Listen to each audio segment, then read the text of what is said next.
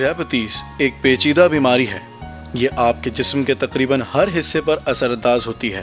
یہی وجہ ہے کہ ذیابطیس سے بچنے کے لیے ہمیں احتیاطی تدابیر کرنی چاہیے۔ پاکستان میں سات ملین لوگ ذیابطیس کا شکار ہیں اور دنیا میں آبادی کے لحاظ سے ذیابطیس کے شکار ممالک میں اس کا ساتواں نمبر ہے۔ ابھی تک ذیابطیس کا کوئی علاج دریافت نہیں ہو سکا، لیکن مناسب نگہداشت کے ذریعے کئی قیمتی جانوں کو بچایا جا سکتا ہے۔ اس سلسلے میں مرض کے متعلق شعور کی آگاہی نہایت اہم کردار ادا کر سکتی ہے۔ ماہرین کا کہنا ہے کہ اگر لوگوں کو صحت کے حوالے سے مناسب سہولت میسر ہوں، تو وہ ایک صحت مند زندگی گزارنے کے قابل ہو سکتے ہیں اور مرض کے پیچیدہ ہونے کے خطرات بھی کم ہو جاتے ہیں۔ پاکستان میں بہت سے افراد ذیابطیس کے مرض میں مبتلا ہیں اور یہ بدقسمتی سے احتیاط اور علاج کے متعلق مناسب آگاہی نہ ہونے کی وجہ سے ہے۔ غریب اور دیہی علاقوں سے تعلق رکھنے والے لوگوں کو آگاہی اور تعلیم کی زیادہ ضرورت ہے کہ کیسے ان کا معیار زندگی بہتر ہو سکتا ہے اور جتنا ذیابطیس کے علاج کی اہمیت ہے، اتنی ہی اس مرض کے متعلق آگاہی کی ضرورت ہے۔ ذیابطیس کے بین الاقوامی ادارے انٹرنیشنل ڈیابٹیز فیڈریشن کے مطابق دو ہزار تیس تک دنیا میں ہر دس افراد میں سے کم از کم ایک فرد ذیابطیس کا شکار ہوگا۔ یہ مرض بہت عام ہے اور اس کی وجوہات میں غلط قسم کی غذا اور موٹاپے کو بھی شامل کیا جاتا ہے۔ اس مرض کے باعث صرف مریض کا رہن سہن کا انداز ہی متاثر نہیں ہوتا، بلکہ امراض دل، دماغ میں ورم اور ذہنی امراض کا خطرہ بھی ہوتا ہے۔ سائنسدان اب جاپان کی ایک کمپنی کے ساتھ مل کر این ایم این نامی اس کیمیائی مرکب کو انسانوں میں استعمال کے لیے موضوع بنانے کی کوشش کر رہے ہیں، جس کے ذریعے ذیابطیس کے مرض پر قابو پایا جا سکتا ہے۔ ایک تحقیق میں بتایا گیا کہ آپ خواہ ایک شیریں سافٹ ڈرنک پئیں یا اس سے زیادہ اس کا تعلق آپ کے بعد کی زندگی سے ہے، کیونکہ اس سے ذیابطیس کے مرض میں مبتلا ہونے کا خطرہ بڑھ جاتا ہے۔ یورپی سائنسدانوں کا کہنا ہے کہ ایک مہینے میں ایک کین یا بوتل پینے والے لوگوں میں بیس فیصد تک ذیابطیس کے ہونے کا خطرہ بڑھ جاتا ہے۔ لیکن اگر ایک سے کم بوتل پئیں تو ایسے لوگوں میں ذیابطیس کے کم خطرات ہوتے ہیں۔ یہ تازہ تحقیق برطانیہ، Germany, Denmark Italy, Spain, Sweden, France اور نیدرلینڈز کے سائنسدانوں نے کی ہے۔ اس کے تحت قریب تین لاکھ پچاس ہزار افراد۔ اس کی روزانہ کی خوراک کے بارے میں معلومات حاصل کی گئی ہیں تاکہ یورپ میں وسیع پیمانے پر خوراک اور شوگر کے تعلق پر روشنی پڑ سکے۔ ذیابطیس کی روک تھام کے لیے کام کرنے والی ایک رضاکارانہ تنظیم کا کہنا ہے کہ شکر آمیز خوراک یا مشروب کو کم کرنے کی ضرورت ہے، کیونکہ اس میں نسبتاً زیادہ حرارے کیرولیز ہوتے ہیں۔ اور اس سے وزن میں اضافہ ہو سکتا ہے۔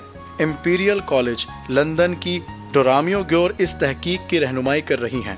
انہوں نے بی بی سی سے بات کرتے ہوئے کہا، شکر آمیز سافٹ ڈرنک سے ذیابطیس کا خطرہ بڑھ جاتا ہے اور ایک دن میں آپ جتنے زیادہ سافٹ ڈرنک پئیں گے، اسی مناسب سے ذیابطیس کا خطرہ بڑھے گا۔ محققین نے شکر آمیز ہلکے مشروب کے اثرات کے بارے میں وسیع معلومات فراہم کرنے پر زور دیا۔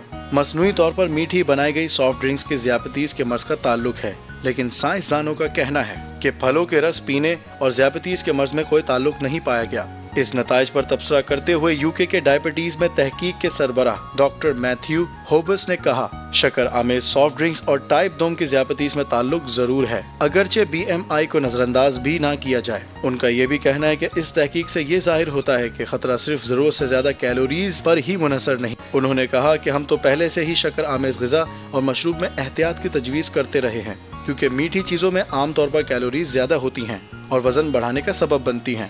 انہوں نے مزید کہا کہ ٹائپ دوم ذیابطیس سے محفوظ رہنے کے لیے یہ اہم ہے، کیونکہ ہمیں معلوم ہے کہ صحت مند وزن ہی اس سے بچنے کا واحد طریقہ ہے۔ اس عمل کو گلوکوز میٹابولزم کہتے ہیں۔ ذیابطیس میں لبلبا یا تو انسولین بنا نہیں سکتا یا لبلبے کی بنائی ہوئی انسولین درست کام نہیں کر سکتی۔ جب انسولین اپنا کام نہ کر رہی ہو تو گلوکوز چینلز بند ہو جاتے ہیں۔ گلوکوز خون میں اکٹھا ہونے لگتا ہے، لہٰذا خون میں گلوکوز کی زیادتی ہو جاتی ہے۔ اور اس وجہ سے صحت کو وہ مسائل پیدا ہوتے ہیں جن کا تعلق ذیابطیس سے ہے۔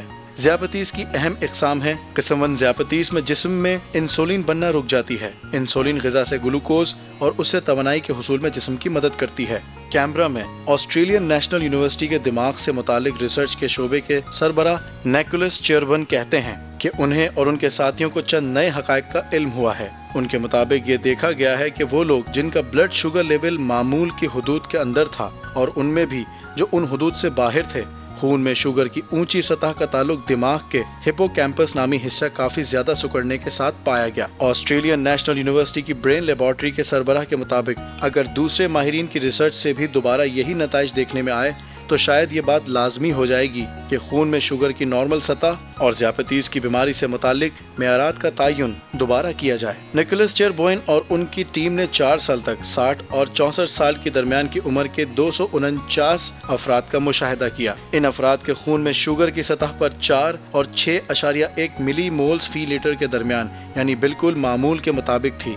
ان آسٹریلوی محققین کو پتا یہ چلا کہ ان میں سے جن افراد کا بلڈ شوگر لیول نارمل کی اوپر والی حد کے قریب تھا، ان میں دماغ کے ہپو کیمپس اور ایمیک ڈالا نامی حصوں کے سکڑ جانے کا امکان زیادہ تھا۔ ان کے برعکس، جن زیر مشاہدہ افراد کے خون میں گلوکوز کی سطح نارمل کی نچلی حد کے قریب تھی ان میں دماغ کے سکڑنے کا خطرہ کم پایا گیا۔ انسانی دماغ کے یہ دونوں حصے اچھی یادداشت کے لیے بہت اہم ہے نکلس چیئر بوئن کے مطابق زیابتیز ٹائپ ٹو کا تعلق اکثر غیر صحت مند لائف اسٹائل سے ہوتا ہے۔ یہی غلط لائف اسٹائل خون میں گلوکوز کی اونچی سطح کا سبب بھی بنتا ہے۔ اس آسٹریلین ماہر نے مشورہ دیا کہ دماغ کے سکڑنے کے عمل سے بچنے کے لیے عام لوگوں کو اچھی خوراک کھانی چاہیے۔ خود کو فٹ رکھنا چاہیے اور ذہنی دباؤ کا سبب بننے والی چیزوں سے بچنا چاہیے۔